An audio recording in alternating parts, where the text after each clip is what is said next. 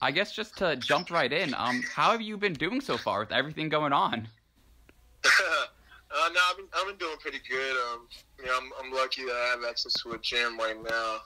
Um, you know, unlike a lot of guys, but it's definitely, um, it's definitely a different off season than we, we've ever had. You know, obviously right now, normally we'd all be with our respective teams, but as you know, you know, all, all activity, all activities, you know, everything's been suspended and stuff. So, you know, kind of just going, taking this thing day by day and kind of just waiting to hear what's next and when we'll be back and all those kinds of things. So.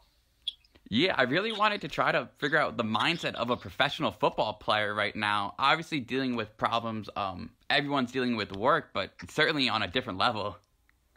Yeah, I mean, you, you got to stay in shape. Uh, you know, it's definitely going to be a big test for a lot of guys. You know, even the off season can be tough. You know, you go three, four months where you have to go work out on your own and stay stay on top of your game and stay in tip top shape. Well, I, I mean, normally by now, by the time we get back to our teams, you know, the teams kind of take over that development and take over all that training. Now you're gonna you know, be asking guys to continue to stay disciplined in their training and stay disciplined in everything they're doing for, you know, an even lo- an even longer period of time. You know, which is tough to do. So, uh, I, I think this is going to be a big test, uh, you know, for a lot of guys. But you know, you got to stay, got to keep training, got to keep on on a, on a schedule, and, and just continue to get better every day until you know we're back, whenever that is, even if that's not until training camp.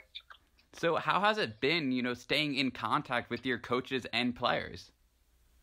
Um, well, you know, we we've we've talked to our coaches kind of here and there in terms of you know finding out when we're gonna be back and stuff. You know, we have virtual meetings starting. I think this Monday is going to be our first kind of round of virtual meetings on like Zoom and stuff like that, where we'll really be able to um, have contact with our coaches and talk, you know, football or whatever. So, um, but it, it's going to be interesting, you know. it's definitely going to be different being on Zoom and, and not being in the room with all the guys at the same time and all learning. Uh, it's, it's definitely going to be different. And obviously, um, a player like you who loves football, how does it feel having to, you know, you not know, you don't know the next time you're going to touch the field? Yeah, uh, it's tough. Um, it's tough, but I mean, you just got to stay on yourself. You got to stay on top of your fundamentals. You know, and the tough thing about right now is, you know, not everybody has access to maybe all the equipment and you know everything you may need in order to duplicate those drills or duplicate you know but you just got to find ways. You got to got to do your best to uh, try to um, try to integrate all your position drills and, and, position work into what you're doing each day.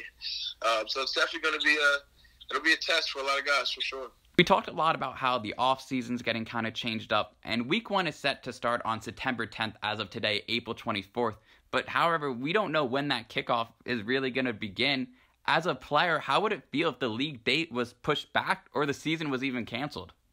Man, uh, I'm a big believer in speaking things into existence, so I don't even want to speak that uh, that uh, uh, uh, into happening. To be honest, um, I mean, I really hope it doesn't. I, I think at the at the very least, you know, we play with maybe no fans. I think, you know, I know you've heard probably, I think the NBA and maybe some other sports leagues are thinking about that, you know, playing games without fans and stuff. And I think most likely that would probably be the smartest thing to do in the beginning, depending on how Corona lasts through the, through the summer, if it lasts through the summer. Um, but yeah, that would be, that would be a shame. I mean, you got to think about it. I've been playing football starting in September since what my fifth grade. so it'll be the first year in, in so long where it didn't start in September. If that does happen, so it would be it would be devastating for sure. Yeah, that was actually going to be my uh, next question. Many, there's so many families and so many other people going through things way, way worse than that. So you know, we got always got to keep that in mind and just keep praying for everybody and keep hoping everybody's you know healthy and, and isn't affected affected in the in the gravest way like some families have been.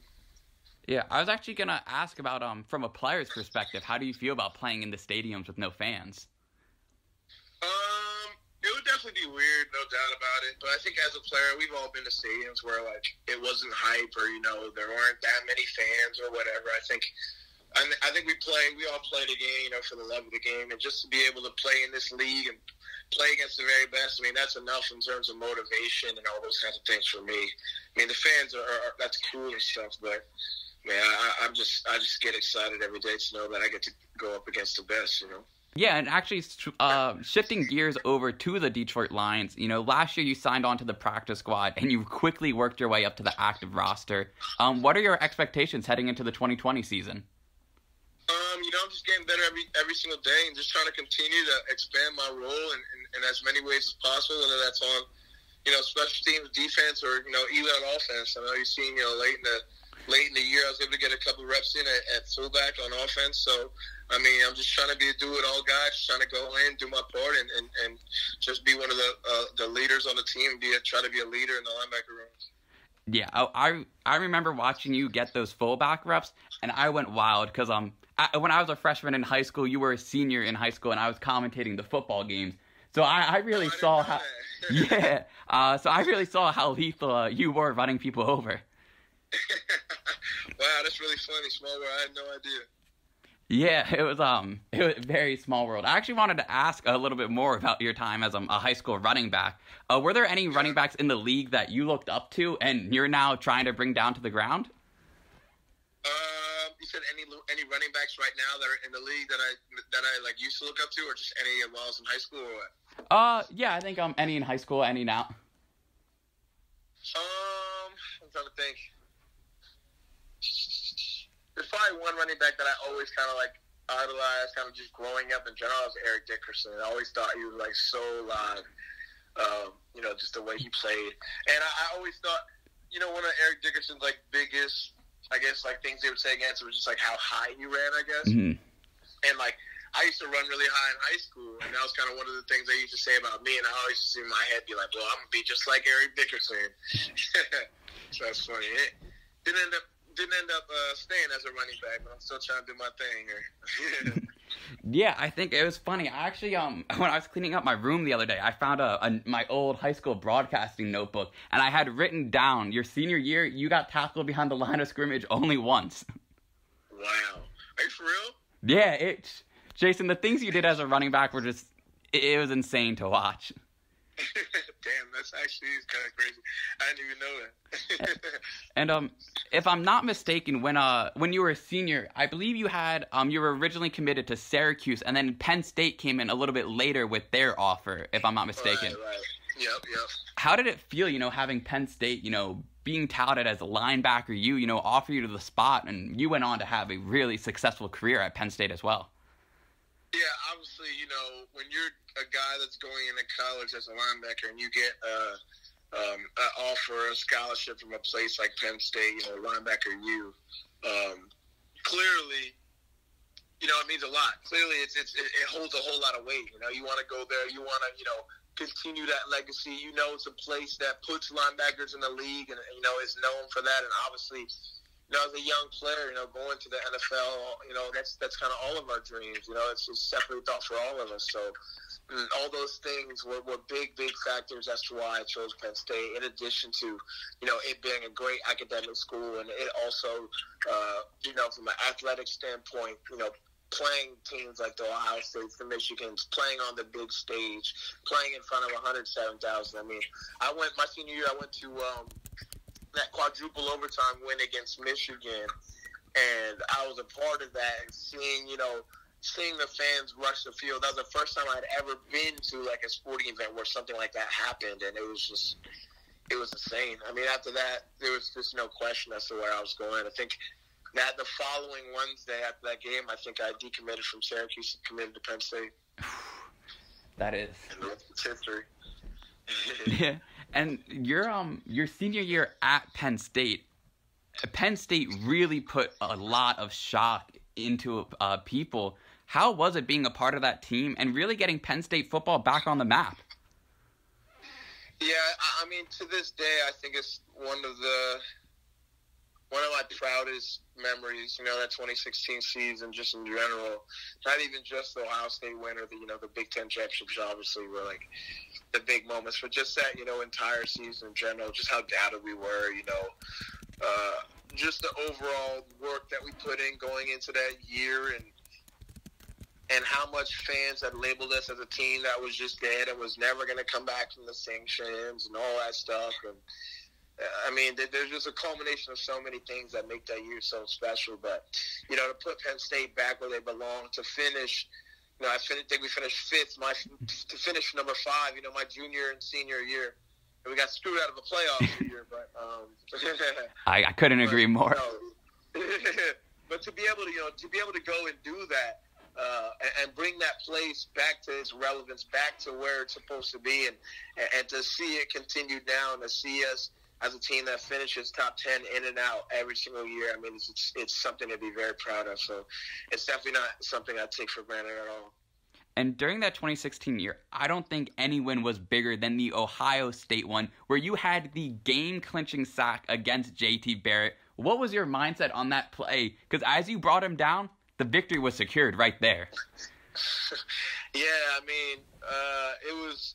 I mean, I still remember like uh, making the sack because and, and holding my thumb up because I, I was playing in a club or whatever, and I, I still. it's funny you asked me about that play because I, I actually just did an interview the other day where they like played me that clip, and you could just see this like crazy, crazy look in my eyes like after I made that sack.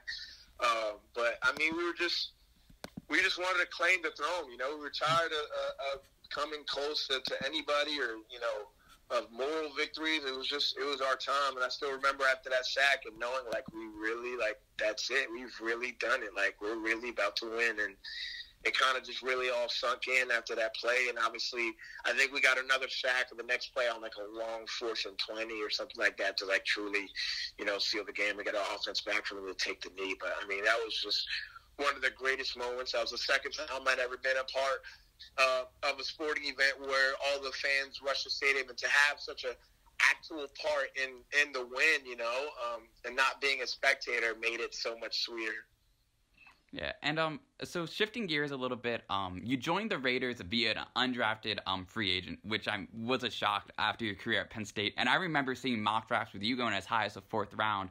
Um, with the NFL draft this weekend, I just wanted to ask if uh, that added an extra chip on your shoulder. Yeah, no doubt about it. You know, when I came into the league, you know, as an undrafted guy, you know, I came in just really hungry. Um, came in trying to make sure, you know, I showed people that I belonged and I was supposed to be here. And, you know, going undrafted can be something that can either you can allow it to eat away at you and allow it to maybe reduce your confidence in yourself, or it's something that you can use as fuel, as fuel, and something that you can use as a chip on your shoulder. And that's what I did. You know, for me, it was just about proving everybody wrong. You know, I just came in on some. You know, nobody's your friend. Nobody believes you belong here, so you need to go show them each and every single day. And I, you know, as an undrafted guy, you get less opportunities, so I knew I had to make the most out of the ones that I got. You know, and I was able to do that. Yeah, and uh, with the Raiders, you were able to start three games. How was it, you know, getting your first ever NFL career start?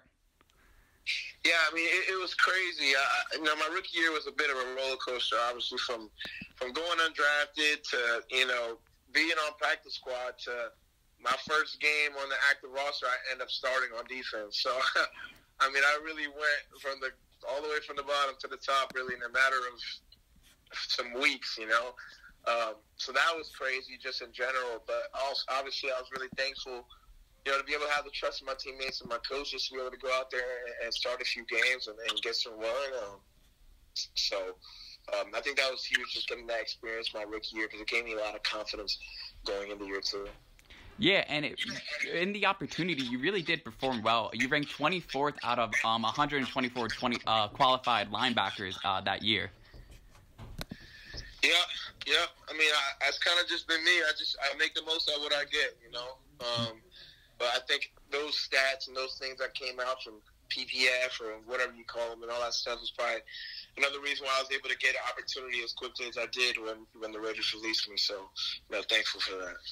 Yeah, and um, looking at your time with the Raiders, um, I really want to ask, what is it like being coached by Jon Gruden, one of the most respected and exuberant coaches in the NFL history? Oh man, I, I absolutely love Coach Gruden, man. He uh, he's a character, as, as most people know. But I mean, there isn't a guy who, who loves football more than that dude. I mean, he's a he's a dude who could just get to the get to the facility at 4 a.m. and be watching film till midnight and, and sleep there and wake up the next day. I mean, the dude, uh, it, it's it's amazing to be able to play for a coach where football is the reason why they tick. I mean, and that's how Coach Gruden is. I mean, you could tell when he wakes up in the morning, when he walks up and walks into the building, you could tell that football is what makes him tick. He that, that's what makes him go every single day. So he's the kind of coach that really brings it out of you and brings the excitement and, and what you need going into practice each and every day. And it was your rookie year, I believe. Hard Knocks was with the Raiders. How was it working with Hard Knocks uh, during training camp and off season? Yeah, yeah, no, that was my second year, um, but it was uh, it was interesting. Um, obviously, the madness and the craziness of cameras everywhere, and you know, um, just dealing with that kind of stuff. But honestly, uh, I think just our, our overall like team mindset, like as we were going into it, was the right one. You know, we were focused. You know, we we got our work and we didn't allow it to be a distraction. You know, so it, it wasn't as bad, nearly as bad as I thought it was going to be. One thing I want to ask about because I saw on the uh, Instagram the workout with Antonio Brown. How was that, and how did that come about as well? Uh, well, yeah, uh, I was working out in North Carolina um, this off season, but you know my gym closed down and stuff. So, you know, obviously me and AB were teammates over with the Raiders, so we became acquainted. And um, I knew he, I know he owns a gym, you know, down here, and I hit him up, and he told me to come through and kind of come get this work in. Um, so I slid down here, and I've just work, been working out with him since I've since I've been down in Fort Lauderdale during this like quarantine the past what month and a half or whatever it's been. And I guess um the final question I have is um one of the things I always like to see a few weeks after the draft is we see these NFL rookies start to spend their first NFL paycheck. So after signing with the Raiders and getting your first paycheck, was there anything big or special purchases you made? yeah, actually, um, my junior year of college, after that season, I told myself that if I got to the league and, and, and you know got some money, that the first thing that I was gonna buy was a, a pair of Balenciaga shoes. Um, so I did. I did end up buying those black those black Balenciagas. Damn, you can can't go wrong with the first purchase there. Cannot. Word. All right. Thank you so much for taking the time to talk to me, Jason. I really appreciate yeah, it. Man, no problem. Absolutely. I appreciate you having me on.